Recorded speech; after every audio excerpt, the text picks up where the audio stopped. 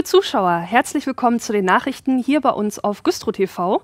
Und wie Sie sehen können, bin ich heute nicht alleine hier vor der Kamera, denn ich freue mich riesig, einen Gast an meiner Seite zu haben. Der ein oder andere wird ihn sicherlich kennen. Lieber Werner, lieber Herr Mommsen, ich freue mich. Du warst am Wochenende bei uns im Studio zu Gast und hast gleich gesagt, dir gefällt Güstro so gut, bleibst noch ein paar Tage länger und kommst auch noch mal hier zu uns in die Nachrichten. Ja. Wie gefällt es dir denn bei uns? Du, ich finde schön. Ich finde schön, wirklich. Also es ist ja, also wenn man so in diese Stadt reinfährt, optisch mhm. wunderbar. Ne, es, es wird ein bisschen viel gebuddelt. Ich habe extra mir noch äh, Wanderschuhe bestellt äh, für Sehr die letzten Tage ja. noch. Da man weiß ja nicht, wo du hintrittst und so weiter. Ja. Man muss Ich habe auch schon mal geguckt, ob ich vielleicht das eine oder andere Skelett noch finde. Da liegt ja wohl einiges drunter wahrscheinlich. Ne? Die Archäologen sind fleißig momentan. Das, das habe ich mir gedacht. Das ich mir gedacht also ne? rund um die Kirche war ja früher auch der Friedhof. Und äh, je tiefer die gerade gehen, umso mehr Skelette legen die da frei. Also es ist spannend. Wir dürfen da auch immer mal mit der Kamera hin. Oh, das, also wenn du möchtest, können wir da auch noch mal irgendwie... Ja die Tage mal ein Date machen. Also die ne? Stadt ist spannend, man sollte nur mhm. nicht sonnabends nachmittags kommen, finde ich. Dann ist, äh, dann ist ein bisschen tote Hose, oder? Dann ist das schon sehr gemütlich, ja. Also ich sag mal, du kannst dann auf jeden Fall noch deinen Drogerieeinkauf machen. Ja. Ne? Ähm, ja, das ist immer so ein bisschen, da muss ich dazu sagen, wir sind eine relativ kleine Stadt, das hast du ja auch gesehen. Äh, und die meisten zieht es dann doch eher irgendwie so ein bisschen ins Größere dann. Aber man hat dann Zeit für schöne Spaziergänge, für nette Runden irgendwie zu Hause ja. am Kaffeetisch. Oder eben Studio 2, wenn Oder man hier mal äh, eine Veranstaltung angucken. Ne? Genau, richtig. Super, ja, ja. ja freue mich. Bist du das erste Mal jetzt hier bei uns in der Gegend? Ich bin, ja, ich bin natürlich oft so Ludwigslust, ein kleines ja. Fest und da um die, in, die, in der Gegend bin ich äh, Schwerin hin und wieder mal Parchim und so, ne? Aber hier glaube ich, äh, ich kann mich nicht erinnern. Also ich also würde ich, würde es ja nicht vergessen, wenn nee, ich mal hier absolut war. Absolut nicht, um Gottes Willen. Ne? Also von daher müsste ich glaube ich das erste Mal da sein, ja. ja. Und wie fandst du es? Also ich hätte das Schloss gerne gesehen, aber da hängt ja eine Tür, äh, Tüte vor. Ne? Das mhm. ist, Christo war hier, also der hat das schon mal einge, einge Und ich habe gehört, ihr seid noch vier Jahre, soll es noch dauern? Es dauert noch ein bisschen, ja. Wir sind ja schon eine ganze Weile jetzt bei. Wir begleiten auch den Baufortschritt am Schloss immer regelmäßig und äh, treffen uns jetzt Ende des Monats wieder. Äh, es werden auch da immer wieder spannende Sachen gefunden. Ja? Also das ist ganz cool, so die alten Zeitkapseln die irgendwie aus den Gemäuern und aus den Türmen und überall wird da mal was gefunden. Und ähm, das erheitert uns jetzt gerade so ein bisschen die Bauzeit, aber bis es dann wieder in vollem Glanze erstrahlt, das dauert noch ein paar Jahre. Das ist ja spannend. Gegenüber ist das Seniorenheim. Ja. Ich meine, da kann man ja auch mal sagen, ich wohne beim Schloss. Ne, so, Absolut. Ist ja, auch, ist ja eine schöne Adresse, Schlossplatz 1 oder wie das heißt. Ne? Tatsächlich gibt es nicht nur die, die gegenüber vom Schloss wohnen. Es gibt sogar jemanden, der noch im Schloss wohnt. Huibu? Nee, besser. Ja? Eine Dame, ähm, deren Mann damals beim Schloss angestellt war, also zu Zeiten, als dort auch noch ein bisschen Verwaltung und solche Geschichten stattgefunden haben. Und diese Dame hat äh, Wohnrecht auf Lebenszeit bekommen das und darf sich als Schlossherrin da betiteln. Wenn die das Haus verlässt, schätz mal, was die für einen Schlüssel dabei hat. Das ist so ein richtiges Bund. Ne? Die, hat, die, hat, die hat wahrscheinlich so einen Apparat da. Die ne? hat so einen Schlüssel. Das ist ungelogen. Ich durfte mir den schon anschauen und der ist wirklich, also der ist ein Stück größer als meine Handfläche gewesen. Und den muss sie mitnehmen, wenn sie abends nach dem Pförtner nach Hause kommt, weil ansonsten kommt sie durch das große Schlosstor vorne nicht mehr nach Hause. Wie sieht's aus? Hat die, ähm, ähm, hat die einen Partner oder ist da noch was zu machen? Das, also, das wäre also. Ich würde vielleicht noch mal abends mal anklopfen, wo welches, äh, welche Etage ist das? Wo muss das, man? Das klären wir dann nachher nochmal. Ne? Noch mal das machen wir nachher. Wann hast ja wann lernst du mal so eine Schlossfrau kennen dann, ne? Das ist so. Also du siehst, Güstrow hat einiges zu bieten und äh, wir haben hier heiße Kontakte, da kriegen wir einiges für dich hin. Ich würde sagen, also, ich bleibe noch ein paar Wochen. Sehr gerne. Und wenn es so ja. weiterläuft, ziehe ich hier dahin. Was liegt denn für dich dieses Jahr noch an? Ich habe jetzt, hab jetzt gerade im Frühjahr Premiere gehabt, also jetzt mhm. äh, im Januar mit dem neuen Programm, das wäre unser ja. Programm zum Thema Glauben. Damit werde ich viel rumtouren in diesem Jahr.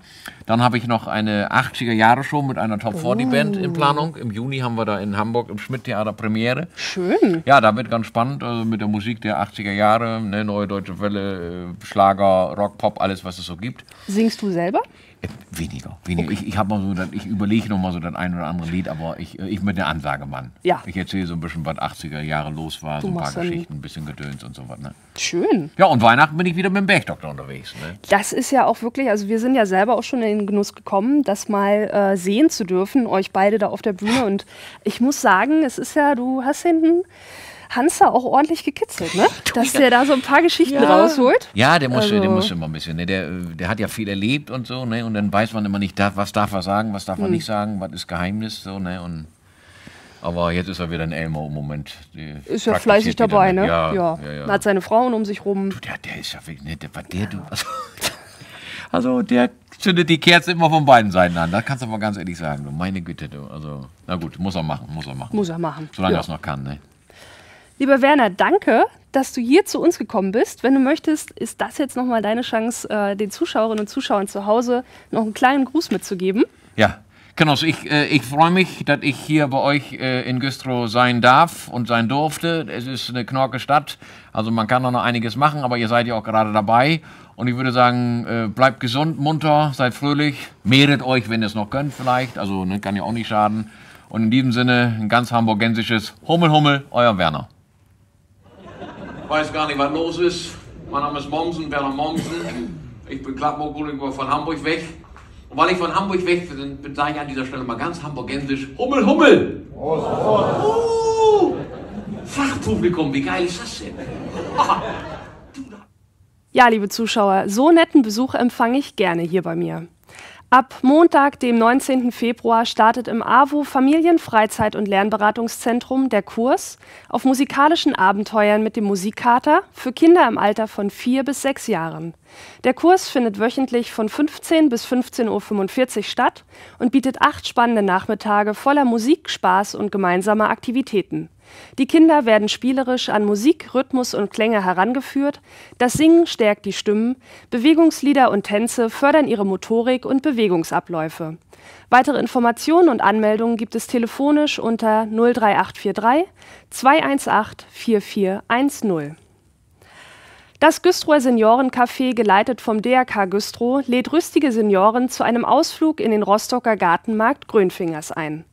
Neben den monatlich stattfindenden Freizeitnachmittagen sind auch mehrere Touren in unserem schönen Bundesland für 2024 geplant.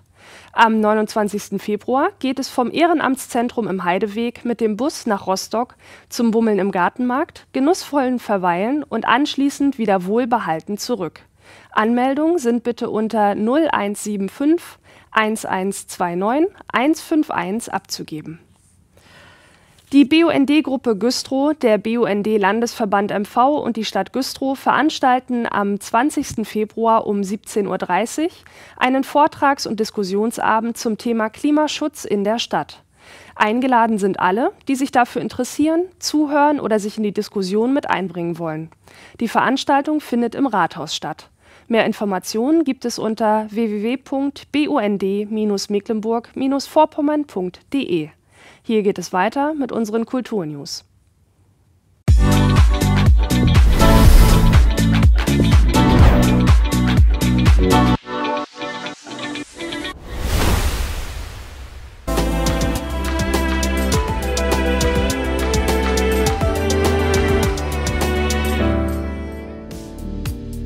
Für große und kleine Theaterfreunde hat das Ernst-Barlach-Theater folgende Aufführungen im Programm.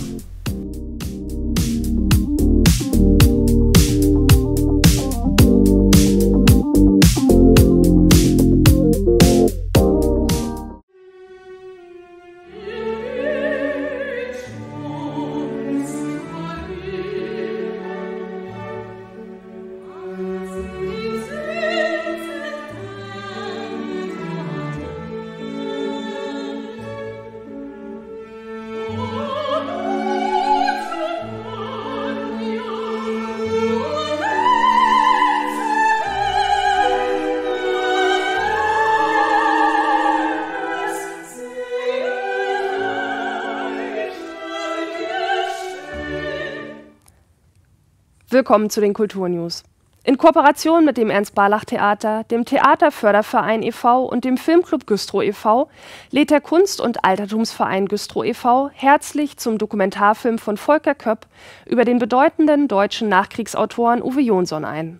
Der Film mit dem Titel Gehen und Bleiben wird am Dienstag, dem 20. Februar um 19.30 Uhr im Ernst-Barlach-Theater gezeigt. Der Film erzählt von Uwe Jonsons Leben und Werk, insbesondere von seiner Bindung zu Güstrow, wo er von 1946 bis 1952 die John-Brinkmann-Oberschule besuchte, bevor er die DDR verließ und fortan in West-Berlin, New York und England lebte. Jonsons mecklenburgische und pommersche Wurzeln bleiben stets ein zentraler literarischer Bezugspunkt für ihn. Der Dokumentarfilm beleuchtet einfühlsam die Motive des Gehens und des Bleibens in Jonsons Werken sowie seiner Güstrower Perspektive. Während in Köln, Düsseldorf und Co. die ganz großen Faschingsumzüge gefeiert werden, zeigt der Stuck in Güstrow, dass es auch im Kleinen ganz viel Spaß macht. Lachende Gesichter, bunte Kostüme und fröhliches Tanzen.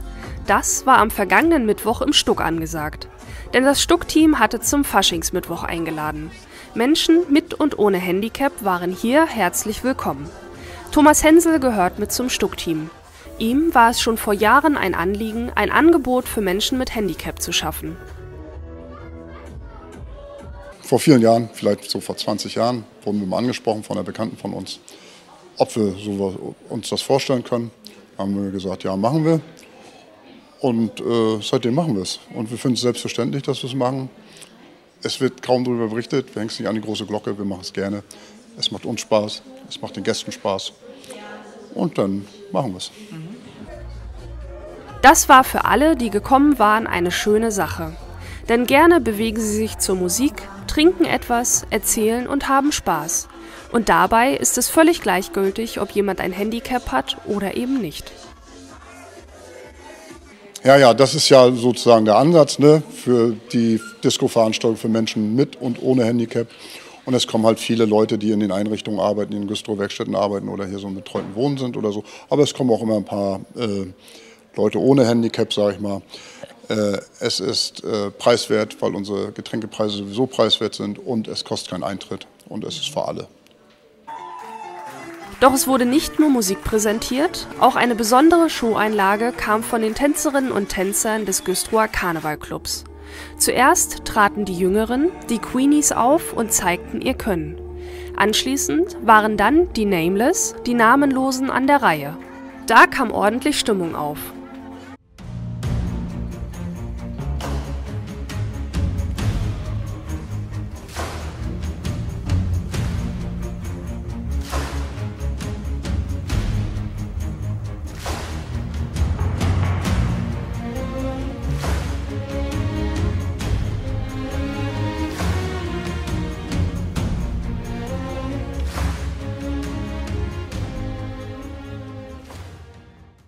Und egal ob jünger oder älter, die Tänzerinnen und Tänzer haben großen Spaß an dem, was sie machen.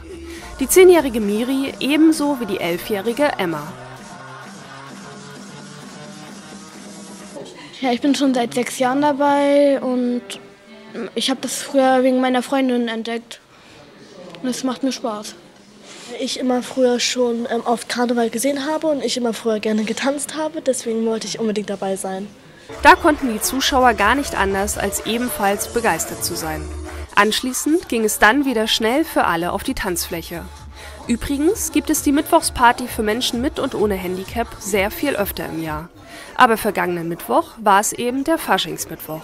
Ob Harlekin oder Clown, vor allem war wichtig, Spaß zu haben. Aber wer sich besonders schön kostümiert hatte, der wurde zum guten Schluss noch prämiert.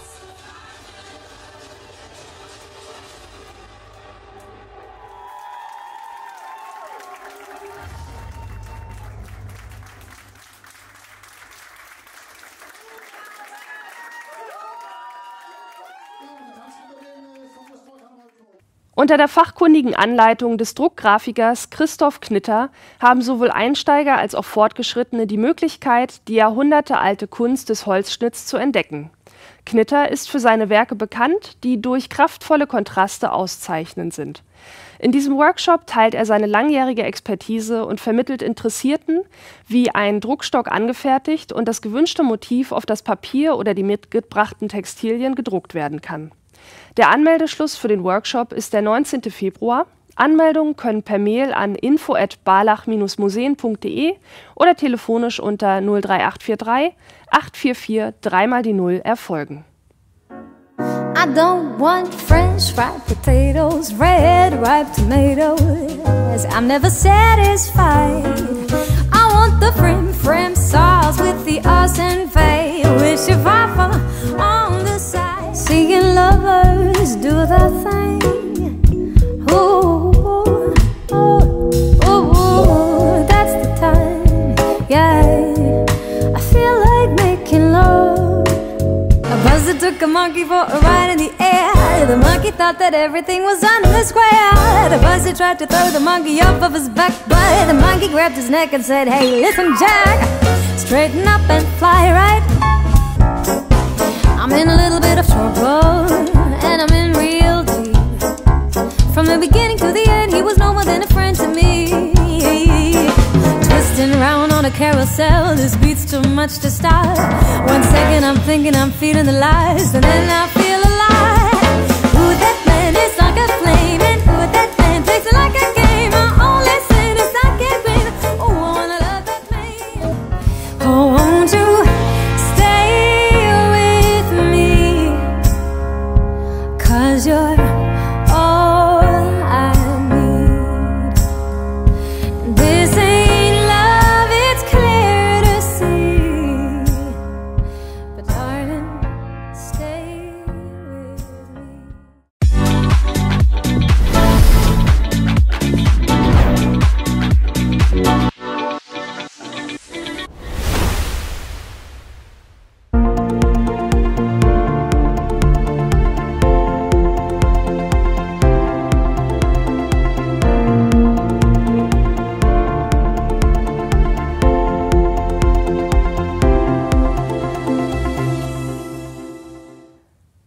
Willkommen beim Sport.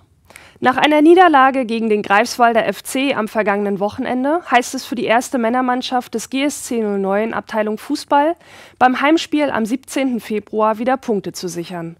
Der FSV Bentwisch ist an diesem Nachmittag zu Gast. Das Spiel beginnt um 14 Uhr. Die Fußballerherren vom TSV Bützow empfangen am Sonntag den PSV Rostock zu einem Freundschaftsspiel auf heimischem Rasen. Es ist das vorletzte Vorbereitungsspiel vor der Rückrunde. Anpfiff ihrer Partie ist ebenfalls um 14 Uhr. Lange war es nicht klar, ob es den LVM Versicherung Swim and Run vom Trifan Güstrow auch in diesem Jahr wieder geben wird. Umso schöner ist es, dass die Anmeldephase nun begonnen hat und sich die Starter für den 23. März nun anmelden können. Wer sich auf den 750 Meter Schwimmen und 5 Kilometer Laufen messen möchte, findet alle Informationen unter www.trifan.de. Im Übrigen findet am 8. Juni auch wieder ein Inselseelauf statt. Der Trifan hat den Wettbewerb mit unter seine Flagge genommen und freut sich über rege Beteiligung.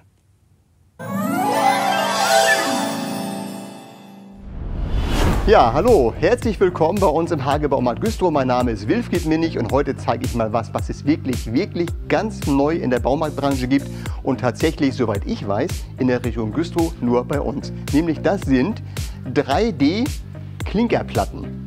Und wenn ihr jetzt wundert, warum ich die so leicht halte und die nicht schwer werden, deshalb, weil die aus Styropor sind, aber im vorderen Bereich ganz toll in 3D-Optik und super fest und stabil. Die kann man innen und außen nutzen. Man kann sie in die Kuschelecke bauen, in die Garage, man kann seine Bar schick machen, aber auch im Außenbereich das Gartenhaus damit verkleiden oder den Sockelbereich, der meistens so schmuddelig aussieht. Ja, warum haben wir das hier? Es wird häufig nachgefragt, sowas gibt es am Markt und wir wollen eigentlich die Ersten sein, sowas anbieten. Wir haben natürlich nicht nur diese eine wunderschöne Sorte, hier den 3D-Effekt kann man ganz toll übrigens sehen, es ist wirklich nahezu authentisch und macht dann mal selber sowas, da kannst du aber lange rumspachteln dran. Ja, wir haben also nicht nur diese eine Sorte, wir haben 15 unterschiedliche Dekore am Lager, das ist wirklich viel. Jeder kann sich da was raussuchen und das Verarbeiten ist denkbar einfach. Cuttermesser nehmen, abschneiden, danach einen Kleber draufbringen, idealerweise mit der guten Klebespritze hier ja, für den Innenbereich. Und für den Außenbereich empfehlen wir einen Flex-Sicherheitskleber, damit das vollflächig angebracht werden kann. Und dann hat man Freude dran. Ja, was kostet der Spaß? Tatsächlich kostet der Quadratmeter bei uns 24,99. Und ich denke, das ist ein super Angebot. Und wenn man sieht, wie schnell man damit ruckzuck eine Platte und die nächste zusammengezaubert hat, also da werden die Nachbarn und die Freunde begeistert sein und sagen, das will ich auch. Ab sofort bei uns im Hagebaumarkt. Ja, was soll ich sagen? Gemeinsam geht das. Dankeschön.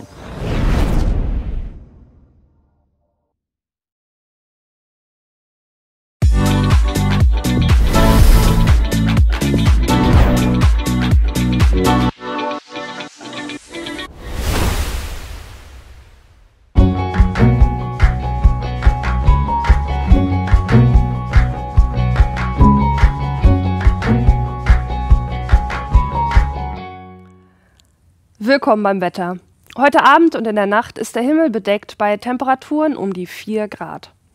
Am Mittwoch kommt es über den Tag verteilt immer wieder zu Regenschauern bei Werten zwischen 4 und maximal 8 Grad.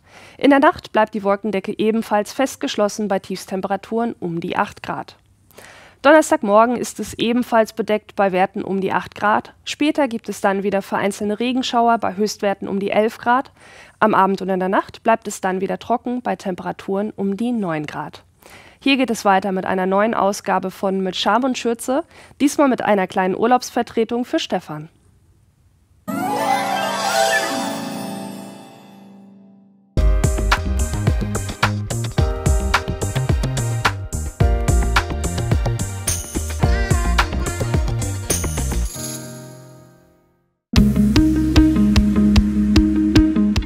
Willkommen in der Steakwerft. Ich bin Stefan Pistol, euer Fleischermeister und ich zeige euch mal, was es hier alles gibt.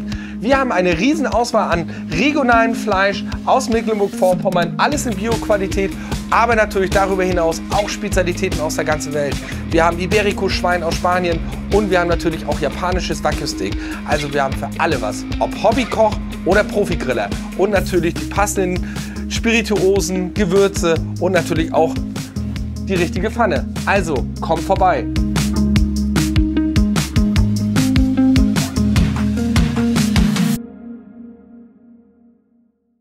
Sofort losfahren? Kein Problem mit unseren Volkswagen Lagerwagen zu Top-Konditionen. Die bieten euch eine große Auswahl an verfügbaren Modellen. Also jetzt zuschlagen und direkt durchstarten bei uns im Autohaus Nord in Güstrow.